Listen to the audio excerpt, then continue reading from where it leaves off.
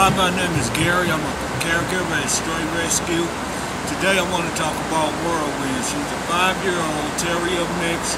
She's very friendly, very lovable, loves to snuggle. She's dog selective, but she loves people. If you're interested, contact Valerie at valeriestray.rescue.org. Thank you.